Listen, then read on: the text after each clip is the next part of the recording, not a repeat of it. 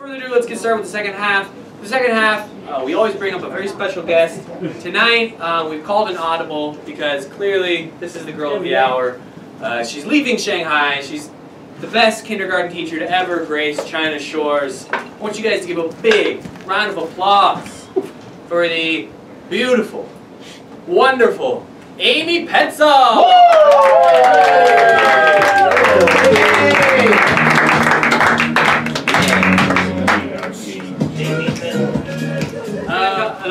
Words for uh, Amy, please. The, the most awkward text you've ever received. Oh, shit. Like, that's like loaded Yeah, the most awkward text you've ever received in Shanghai. Can we get a picture On that of? Tuesday that we all know every I have time. a, I have a story in mind. You have another story? Yeah. All right. Just give her a couple other words just to give her a back door. Uh, Wait,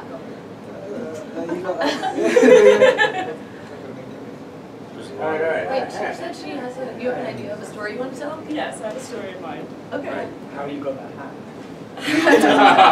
No, wait, shall I still tell the story of the most awkward text? Yeah, message? you should. Okay. Probably. So I was fairly new in Shanghai. I'd been here for about a month, and this girl Miranda, who I'd met in like my first week here, we were like like like best buddies forever, yay! And she started dating this guy. Let's call him Eric, who I really really didn't like at all. Like I thought he was obnoxious and just like really American. Um, um, anyway, she's like, it's really, I quite like him, and this guy, like, I think he might be quite important to me, so I'd like it if you if you made an effort. And I was like, okay, okay, I'll, I'll do it, I'll try. And so we all go out for this big night out. Can't remember what the occasion was, um, but we all got very happy, and we were at Zapata's, and Eric was off in another bar and he was going to come and meet us later, and so it was just me and Miranda at Zapata's, and I feel this this buzzing in my bag, and so I, I take out my phone and it's Eric, and he sent me a message, and I think the exact words were, I think I love Miranda, but I don't know if I can even say it. you should say. She's like, I've wanted to suck your tits and eat your asshole since the first time I saw you. and just as I'm looking at this, Eric appears with his big afro. I'm sorry, I meant his um long hair. Um, and he's like, oh, I'm so sorry. I'm so sorry. I'm so sorry. What happened? And I was like, okay, it's fine. Um, let's just forget it. We're all happy. We're all having fun. And but later, me and Miranda fell out about it because she was like, "You should have hated him for that," and I was like, "But you wanted me to be his friend." And that is the most awkward text message I've ever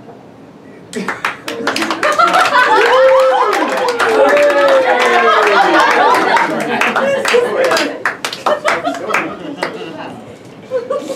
Alright, go!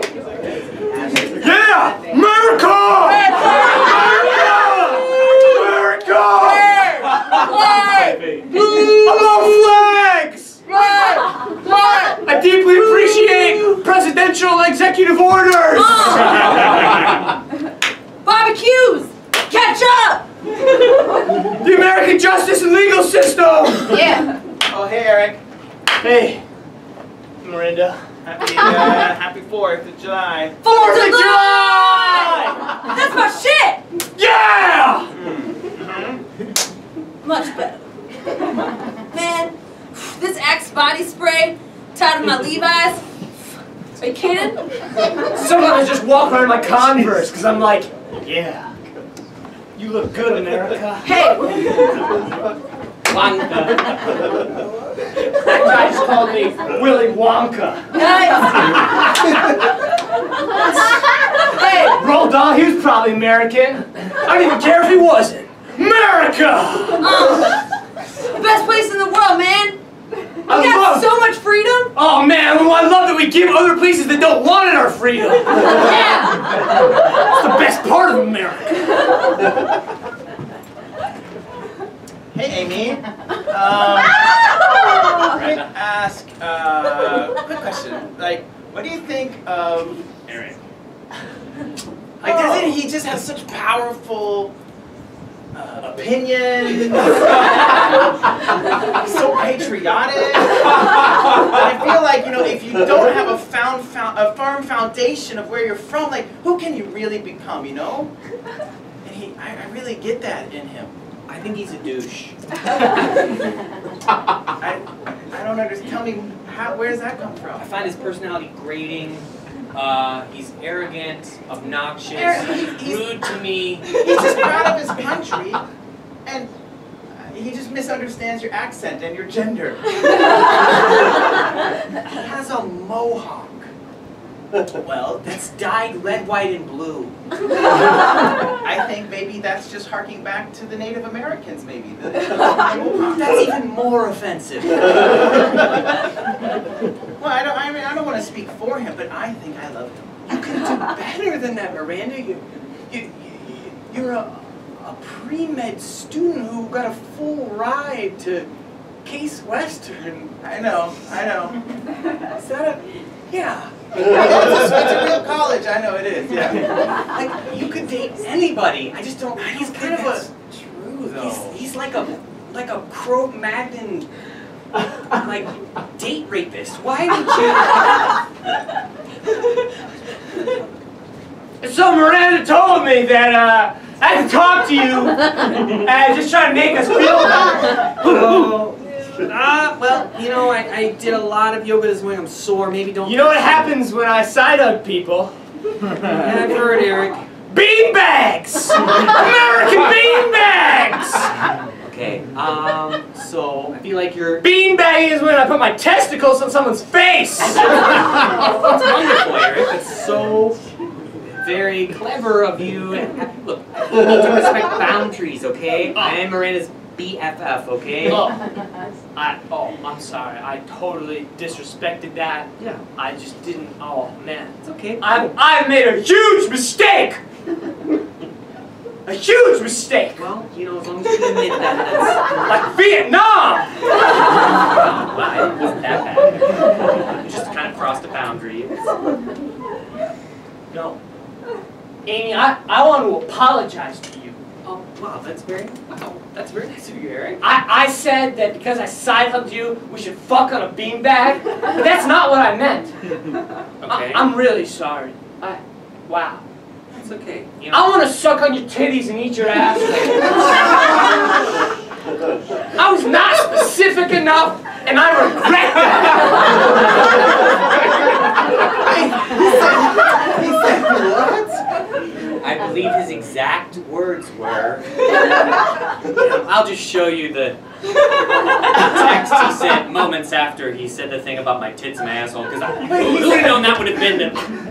Oh, I'm sorry. Let me send that to you in a text message form, so you. Yeah. He, he, the crude picture is something he drew afterwards to illustrate it wasn't enough. He, he told me. He's really good at flash animation.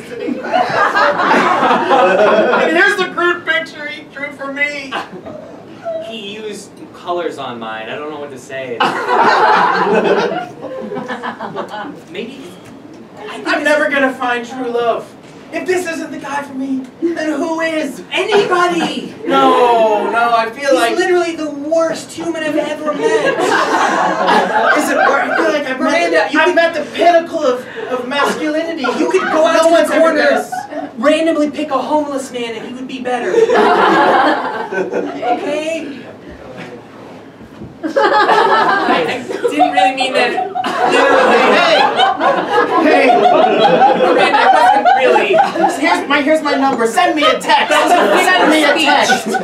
That was not to be taken literally, Oh, here, here, Miranda. just scan my QR code. There you go. There you go. You do well. You do well. I hope to hear from you soon. You see, she doesn't. He doesn't want me. I'm gonna go I back think to you Eric. just, I gotta think go you just back wanted to. change from me. I don't. I- You're seeing betrayal everywhere around you. It's, it's an illusion. I think I'm just gonna go back to Eric. What? Yeah, I mean, I've seen, I've been with other guys at this point. I don't, we don't, we don't connect like. Oh, Oh, you're, you're back. Oh.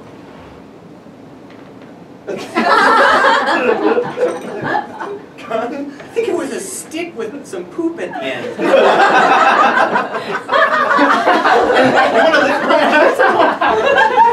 want to live I'm pretty impressed. You're pretty good at picking up chicks, homeless guy. Dude, it's all an act. It's all an act. Oh shit! Oh shit, America! Fuck yeah! I'm again to save the motherfucking day, yeah!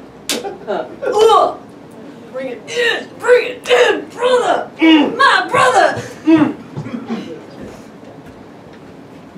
Uh, I would like all new cult initiate, initiates to come into the uh, conference room, which is what I'm, which is what I'm calling my living room for the time being. Listen, thank you for allowing me to wait in your dining room. Oh, that's fine. I uh, I don't have a place to go. that that is the room of worship now. The dining room? Yes. Oh. Look, guys, I know that a lot of cults make ludicrous um, requirements out of their members. You know, the, the, these other cult members, uh, they take it too far. They want to marry all of your uh, loved ones, right? Yeah, I've been Daughters. In, I've been in those. Yeah. Yeah. I mean, I just want you guys Both to know. kids. Um, this is my first cult. Okay, great. Well, I'm Welcome. telling you, right? You, you tell them, Todd. Oh, it's you don't want to be in other cults. Todd's been in two other cults. How many times has your wife been married to uh, cult leaders? Oh, I don't know, four, four times. I mean, the cult leaders just you know, there's a lot of turnover at the top. My teacher just said I needed to do an internship for six months. Well, My daughter was married to my cult leader six times. Uh, they got divorced five times in between, but they, they, they worked it out. okay, great. Glad we could all get that out of, the, of our systems. I just wanted to let you guys know up front, none of that in this cult. I have zero designs on marrying your loved ones. I uh, just wanted to make that clear. Whoop. I'm getting a text from God. Okay, good news and bad news. What do you want to hear first? Good news? Uh, God usually says the bad news first. No, let's go I- I good news. Good news. tell the difference. Good news. Good Okay. news first. Good news is, still not going to marry your significant others. Oh, oh, that's great news. I, I like God, this cult a God lot. re- just reaffirm that to Yeah. me. Okay. Uh, my special holy phone. Bad news is, do have to give slight little ass nibble, just a a nosh, An ass nosh? an ass nosh. That's the new that's the new mandate from the number one man. To me or song. to my spouse? You know everybody. Okay, well, where do we get in line? Well, mm, just go ahead. I'll be in the worship space. Intern, Who? do you want to reach the uh, enlightened plane or not? Um, uh, uh, The door's uh, got a deadbolt on it, by the way. You're not gonna be able to leave. uh, maybe.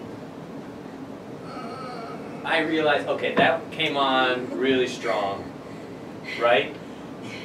Maybe we should, maybe we should, let's do baby steps, okay? Look, Maybe. no, there will be no, I won't even touch you, okay? Come, come back, come into my holy realm. Look, I came on strong. Maybe, maybe we'll, we'll ease you into this, right? Are we gonna get started in here or what? Yeah, I'm ready to get my ass noshed. I- Easy now, we got, we got, we gotta, we gotta scare or you. two ass noshing. I found a vinaigrette. Todd, you were a new cult initiate at one time, okay? Look, I know this is an intimidating experience, giving yourself over to a strange man dressed in white who uh, occasionally levitates. Look, maybe we'll start you off easy, just maybe inject a little bit of my blood into your arm. right? That's no biggie, right? I got the syringe right here. Uh, it's got some it's blood. I'm, I've been tested. You can see. Okay, I haven't signed anything, so let's just pretend like I wasn't here. Okay, this is blood from the chosen one. Okay, I, I have people lining up to get a little of this holy juice. Oh, some of this Jesus. I, I love some of that Jesus juice. Yeah, well, Todd, as I told you, you have to pay ten thousand dollars for it. Ah, wow, what a deal! I'm I'm in. let's let's do this. Yeah, yeah. Okay. Here's one thousand, two thousand. Uh, I don't have enough money. Can I go to the ATM? Is there an ATM around here? I have one uh, upstairs in my bedroom. So we're, we're calling it the Love Palace. The Love Palace. I'll be right back. Okay. See that? Just got 10 G's off Todd there, but you, all I'm asking for is your everlasting devotion. Well, it's not gonna be everlasting, because I'm only gonna be here for six months. Six months everlasting. You know, you'll be brainwashed by then, so it's fine. Uh, okay. I I don't have any choice. So I'm just gonna make my teacher proud. I've got a good aioli mixed up in here as well. All right, we'll do it after the, the after lunch. Okay. Thanks, Okay. Bill. Alright. Nope.